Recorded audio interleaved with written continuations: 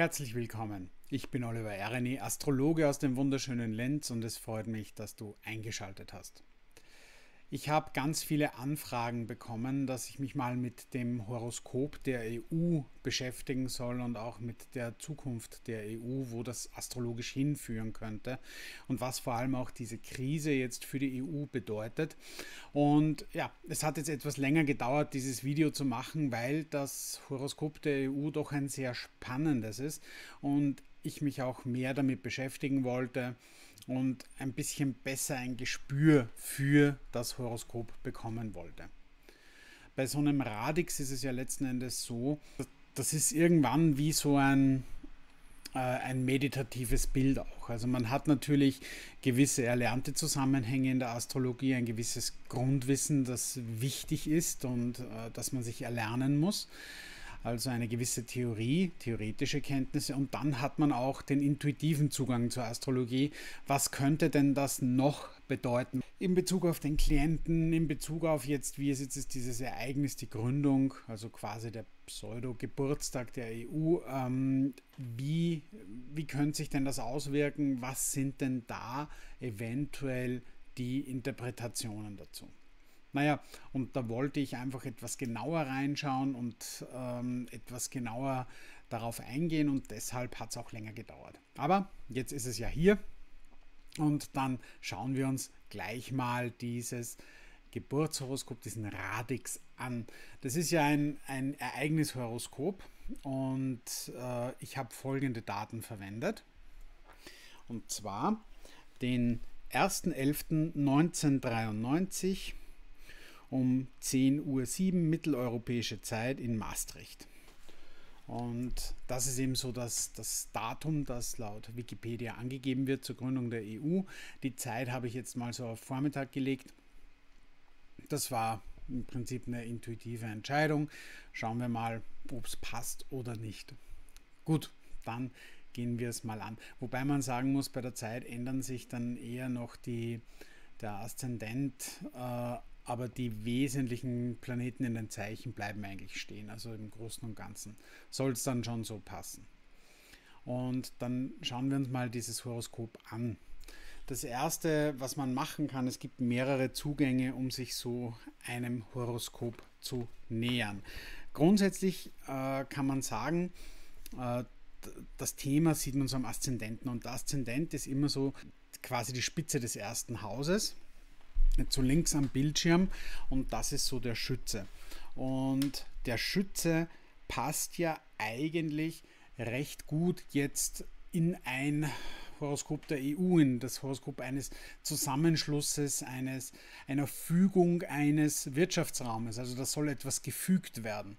Äh, der Schütze steht eben für die Fügung, für dieses Aufmachen, Öffnen und etwas zusammenfügen. Und, und was, also und, und wo spielt sich das ab? Abspielen tut es sich so, dass es für alle bestimmend wird, weil der Jupiter, den siehst du hier im zehnten Haus stehen, der Jupiter steht in Waage im zehnten Haus und das bedeutet, es soll für alle ein gewisser Ausgleich, eine gewisse Gleichheit geschaffen werden äh, und das, das ist auch für alle gültig. Das zehnte Haus ist bestimmend für alle, also eine Fügung, die für alle gültig ist. Das ist mal so das Grundthema dieses Horoskops. Ähm, dann geht es weiter. Es wird eben in einer, in einer Gruppe, in einer gleichgesinnten Gruppe, äh, drückt sich diese Energie aus. Das ist so im elften Haus, die Sonne, auf plutonische Art und Weise, also auf Skorpion Art und Weise. Also die EU ist im Prinzip ein Skorpion. Jetzt nicht gleich die Hände über den Kopf zusammenschlagen. ich bin auch Skorpion, so schlimm sind die Skorpione nicht. Aber ähm, das bedeutet natürlich schon, man hat eine gewisse, äh, eine gewisse Fixiertheit, eine gewisse Vorstellung, äh, die da durchgesetzt werden soll und eben wieder in Gruppen durchgesetzt werden sollen. Also es soll eine Vorstellung durchgesetzt werden. Ja, ich habe schon gesagt, es geht dann eben ins, ins zehnte Haus, in die Waage ist eben Ausgleich. Die Venus, da ist, halt, da ist natürlich dann auch so ein bisschen so dieses, äh, dieses sich austauschen, was ja ganz gut passt. Und wir haben natürlich auch, was wird ausgetauscht? Die Venus hat ähm, hat auf zum Saturn hin ein Trigon und Saturn Steinbock, da werden wir, den werden wir dann auch noch ganz stark hören in diesem Horoskop, aber Saturn, Steinbock, es sind ja auch so die Gesetze, die Regeln, also das, da werden auch auf jeden Fall Regeln äh, gleich gemacht, Regeln für alle gleich gemacht, also auch auf eine, auf eine juristische Art und Weise. Passt ja auch zur EU. Gut, ähm, dann schauen wir mal weiter. Spannend ist, wenn wir jetzt einmal zum Zweierhaus schauen, da unten, das ist so im Steinbock. Also das erste Haus, habe ich gesagt, Schütze, ein bisschen optimistisch äh, etwas erweitern, etwas gut fügen. Und das zweite Haus sind ja dann so die, die, die Grenzen, ist dann auch das Volk letzten Endes. Und dann schauen wir mal, was sich da abspielt. Und das steht jetzt da im Zeichen Steinbock. Steinbock ist ja, sind die Regeln, sind die Normen, ist das, was für alle gleich gelten soll. Ist auch so eine gewisse Einschränkung, ist eine gewisse Rigidität kann im Steinbock auch stattfinden. Und da haben wir ein paar ganz spannende Konstellationen in diesem zweiten Haus drinnen. Nämlich, wir haben erstens einmal drei Langsamläufer drinstehen im zweiten Haus. Wir haben Neptun, Uranus, die bilden eine Konjunktion. Und wir haben den Saturn im Wassermann stehen. Und vielleicht erinnerst du dich jetzt von den aktuellen Horoskopen her, der Saturn ist ja jetzt gerade wieder im Wassermann. Also warten wir mal ab, was da noch auf uns zukommt, wenn sich der Saturn da wieder begegnet. Im Horoskop der EU, das dauert aber noch ein bisschen. Ja, aber auf jeden Fall, wir haben, wie gesagt, ähm, Neptun, Uranus, Konjunktion. Was bedeutet jetzt Neptun, Uranus? Neptun ist ja so der, der große Träumer, vielleicht auch ein bisschen so der, ja, der, der, nicht immer ganz ehrliche, der so seine eigene Welt hat, seine eigene Wirklichkeit hat und der trifft auf Uranus, den Revolutionär, der auch ein bisschen so die Erhöhung ist. Und da kann man jetzt sagen, okay, man bildet sich ein, etwas Besonderes zu sein mit Neptun Uranus zusammen. Und das würde ja auch passen, dass ich sage, okay, wir sind jetzt groß, wir sind etwas Besonderes, wir sind jetzt dieser Wirtschaftsraum, äh, wir sind jetzt stark, dass da so eine gewisse äh, Einbildung, Verblendung dabei ist. Das würde meines Erachtens nach ganz gut passen. Und gleichzeitig kann man das auch umlegen, nachdem wir ja Neptun und Uranus je auch im Steinbockzeichen stehen haben. Und eine, eine weitere interessante Geschichte ist, wenn man jetzt Neptun, Saturn hernimmt, da, das wäre auch die Neigung, das Recht so auszulegen, wie es einem passt. Also manche Sachen so ein bisschen drehen und wenden, wie es gerade passt, was natürlich ja, vielleicht auch ganz gut auf die EU passen könnte. Ähm, das sind jetzt einmal so diese, diese Konstellationen. Saturn im, im Wassermann haben wir schon auch öfter, öfter gehört. Das ist so dieses, dieses eben äh, ein bisschen so dieses Öffnen von, von Grenzen, Öffnen von Grenzen, das heißt scheinbare Differenzen überkommen, habe ich schon gesagt. Und das sind so ein bisschen so Themen, die sich da in der EU abspielen. Ist ja alles im Prinzip ganz passend. Und jetzt wird es spannend, denn jetzt kommen wir zu diesen plutonischen Aspekten. Und schauen wir dann da mal rauf. Gehen wir mal kurz rüber zu diesem zum Skorpion. Ja, das ist so da bei 11, 12 so und da sieht man eine gewaltige Ballung und da sieht man eigentlich in diesem, in diesem ganzen Konstrukt der EU, es ist ja letzten Endes ein Wirtschaftsraum, der da gegründet wird, sieht man schon eine sehr, sehr starke Vorstellung, eine sehr, sehr starke Fixiertheit und ein, ein ganz massives Machtthema, das natürlich auch ähm, ja, teilweise sich in Gewalt äußern kann. Also da sieht man so, das ist so ähm, da haben wir Pluto Mars und das ist durchaus auch so eine, so eine Gewaltkonstellation, die sich aber irgendwie so im Versteckten abspielt. Und wenn ich jetzt dann so Themen denke, die sich zum Beispiel auch an EU-Grenzen abspielen, also weit weg von uns, äh, wie der EU-Raum abgeschottet wird und mit welchen Methoden da teilweise gearbeitet wird, dieses weit weg ist Gewalt, hm, naja, da, dann finde ich, passt das schon ganz gut. Beunruhigender ist das natürlich, wenn man es jetzt auf eine Agenda im Hintergrund bezieht. Das heißt, äh, im Prinzip mit, ja, im zweiten Haus Saturn, und dann auch im sechsten Haus so Stier. Das ist für mich so, das Volk soll ja eigentlich arbeiten und soll die Arbeit machen.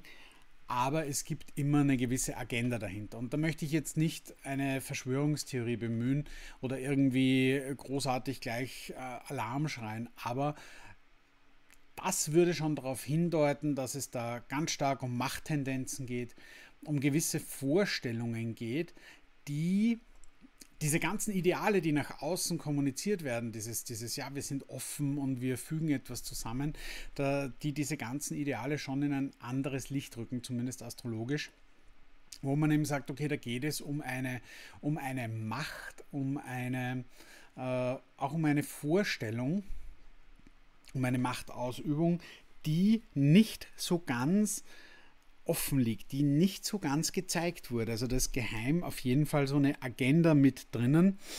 Und das ist natürlich ein, ja, ein etwas fragwürdiger Aspekt in diesem ganzen Horoskop. Also auch, ähm, man kann auch sagen, dass es hm, dass dieser ganze, dass dieses ganze Konstrukt, dieser ganze Wirtschaftsraum EU enorm ähm, enorm eigentlich auf, ein, auf, auf, auf so Meinungen basiert, weil man sagt, das muss jetzt so sein, ohne dass da viel Gespür da ist, ist das jetzt passend, ist das jetzt der richtige Zeitgeist.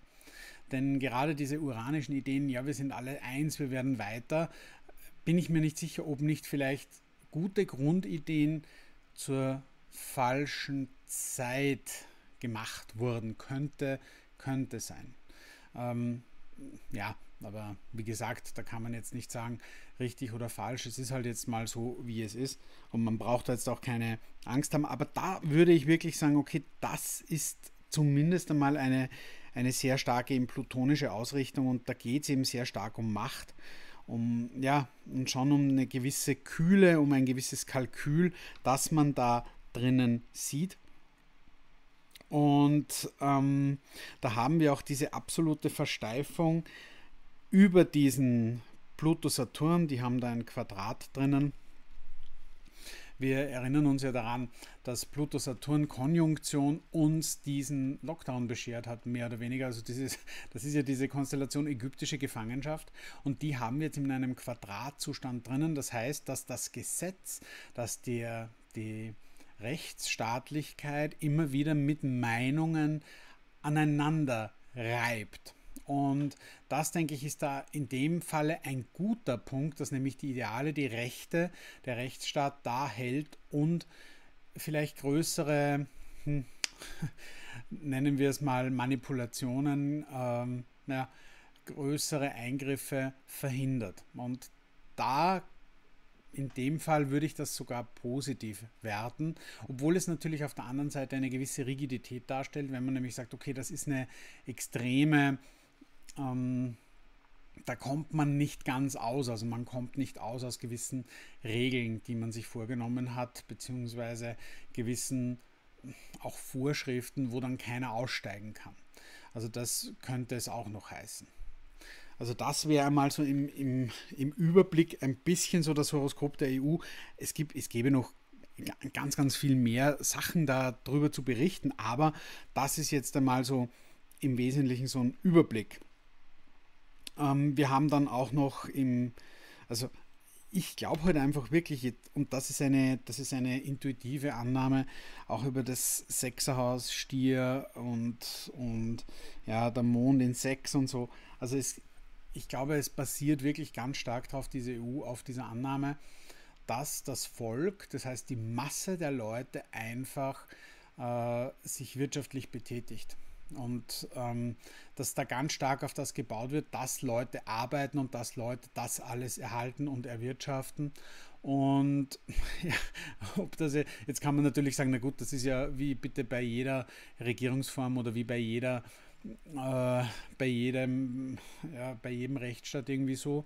Aber da wird schon sehr darauf gebaut. Das heißt eigentlich, dass jeder, jeder Mitbürger der EU aus jedem Land und nicht nur so diese, diese zahlungskräftigen Lenkner, dass, dass darauf gebaut wird, dass die nicht auslassen und dass das Ding eigentlich auch auf den Schultern der Menschen getragen wird. Also grundsätzlich könnte man ja sagen, die EU funktioniert so lange, äh, solange jeder Arbeit hat. Und ähm, ja, das kann man jetzt gut oder schlecht finden, aber man merkt, okay, da ist alles sehr, sehr abhängig und sehr, sehr, ja, sehr wackelig, dass sich da die Situation nicht ändert und deshalb sollte halt auch immer ja, genug Möglichkeit sein, dass die Leute selber Geld verdienen. Und im Idealfall wäre es natürlich so, dass man sagt, okay, ein Teil trägt natürlich äh, das nach außen mit, aber ein, es sollte natürlich auch den Menschen da genug bleiben. Ja, das ist jetzt mal so umrissen, das Horoskop der EU. Da haben wir jetzt den Radix da von der EU in, Gegenwart, in der Gegenwart. Und spannend ist, das ist jetzt nicht so interessant, ich komme jetzt dann auch gleich auf die Zukunft dazu, aber wir haben da einen äh, Pluto-Jupiter und das ist ja so der, also Pluto, Pluto-Jupiter-Quadrat. Und das ist ja so die Konstellation für Guru. Und Guru ist immer so der Verführer oder der große, äh, der, der, der halt einfach Leute auch um sich scharen kann. Und ich finde, das ist jetzt in dem Fall auch diese ganze Propaganda. Also momentan läuft in der EU anscheinend eine, eine riesen Propagandageschichte ähm, und, und ein, ein Riesenspiel, das allerdings aus eben diesen Machtvorstellungen kommt, weil wir erinnern uns ja, dass äh, Mars Pluto im Zwölferhaus, das sind so diese Machtvorstellungen im Skorpion und da läuft eben jetzt gerade so diese, diese großartige, also großartige sind nicht, aber diese Vorstellung, ähm, dass also da, wie etwas zu sein hat. Und das ist für mich eben so ein bisschen so Propaganda ähm, über diese Konstellation der Guru.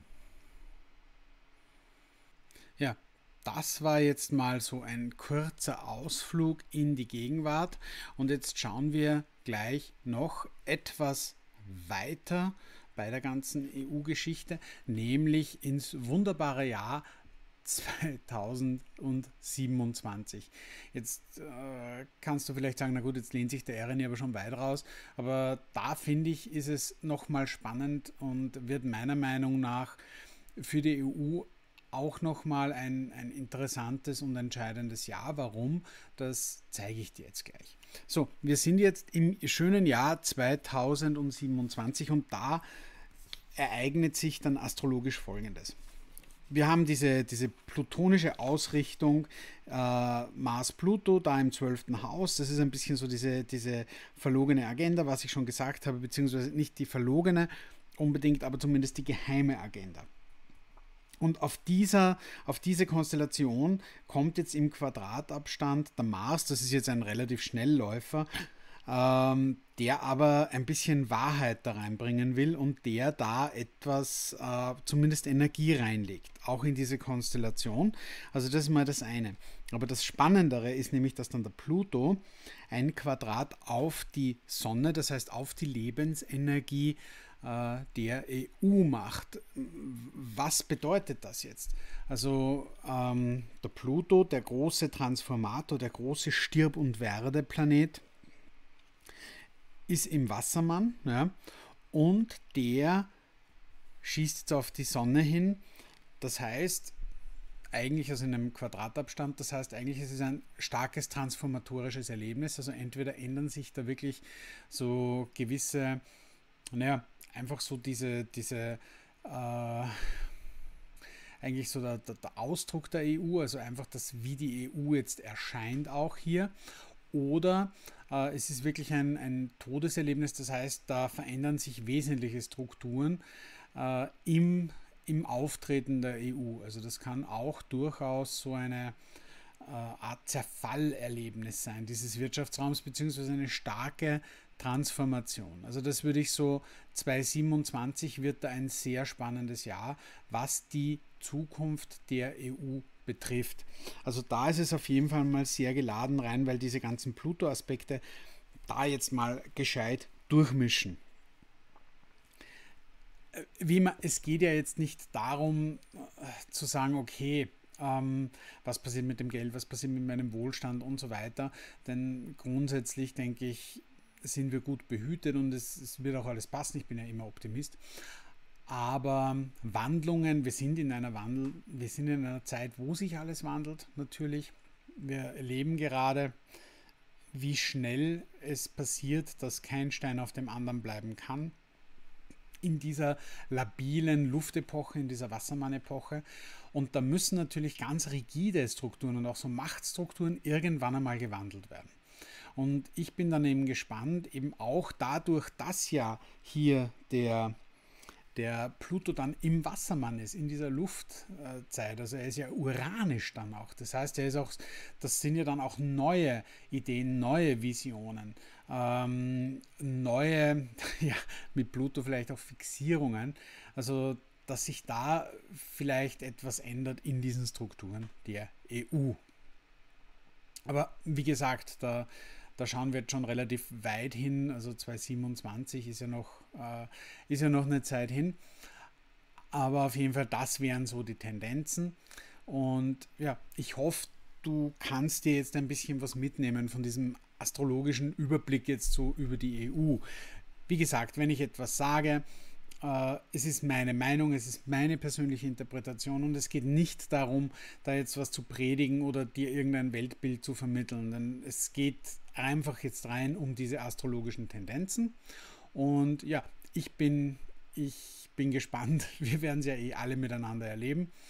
Äh, wenn du Fragen hast zu diesem Video oder irgendwelche Inputs hast oder irgendwelche anderen astrologischen Themen besprochen haben möchtest, dann schreib es mir einfach in die Kommentare. Äh, lass mir bitte einen Daumen hoch da, wenn dir das Video gefällt. Teil das Video, abonniere meinen Kanal, dann kann ich auch gerne weiter diese diese Art äh, Content produzieren. Und wenn du vielleicht Lust auf eine persönliche astrologische Beratung hast, über Zoom oder live bei mir in Linz in der Praxis, dann schau einfach mal auf meiner Homepage www.rni.com vorbei und mach dir einen Termin aus oder schau dir einfach mal so generell mein Angebot an. Okay, ich sage herzlichen Dank und fürs Zuhören und ich wünsche dir eine gute Zeit ähm, und wir sehen uns beim nächsten Video. Alles Liebe aus Linz, dein Oliver Erani. Tschüss.